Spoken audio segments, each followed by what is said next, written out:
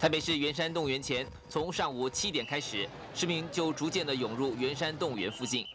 而揭开动物大搬家游行序幕的，是一项全程十四点三公里的迷你马拉松比赛。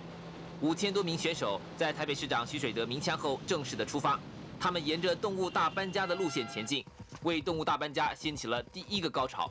从空中望下去，只觉得人群们似乎已经把动物园附近团团的包围住。大家都期待着八点半开始的动物大游行活动。台北市长徐水德也在现场参加了这项百年难得一见的盛大活动。八点半一到，动物游行的车队准时出发。车队先从酒泉街开出，经过圆山动物园门前，再转向中山北路前进。在警车的前导开道下，车队浩浩荡荡的出发，展开了这具有历史性的一刻。在动物车前面是由一百位小朋友装扮的成的动物大使。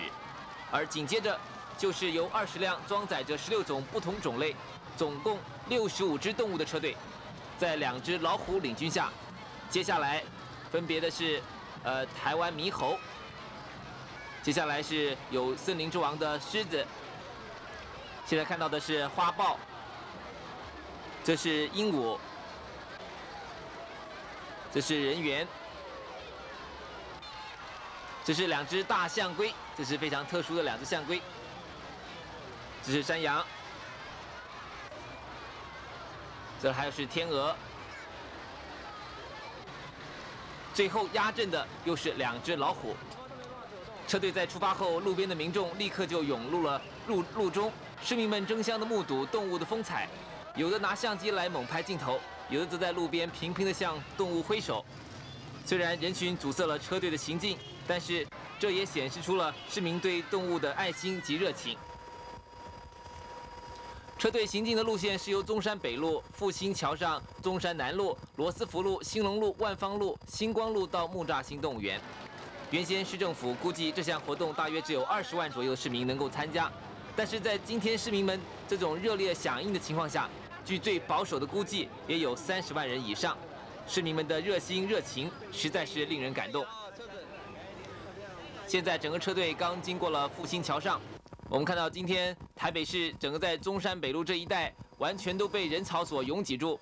现在您看到是在中正纪念堂前面，这里有台北市儿童合唱团，还有一女中的乐队和仪队的表演。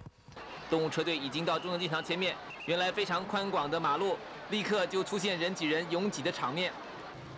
人山人海的观众，为成今天动物搬家的另一项奇观。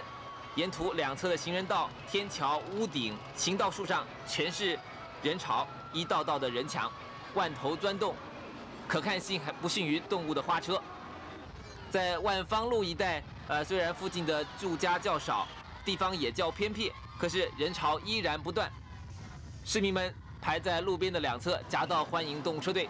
现在是十点整，动物车队在历经一个半小时的游行后，第一批的车队已经抵达木栅新动物园门前了。在新园前的周围，早已经挤满无数的人群，大家都期待这历史性一刻的来临。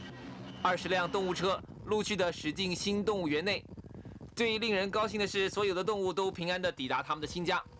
木栅新动物园将于下个月底开放，届时这座占地一百八十二公顷的市立动物园，势必是台北市民心目中的焦点，也是假日郊游的最好的去处。